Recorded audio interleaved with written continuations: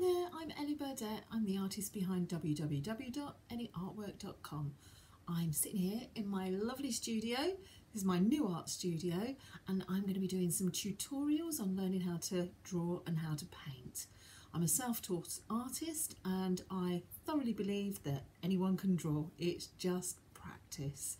If anyone would like um, to make any suggestions of what they would like a subject matter to start with, please message me in the messages below.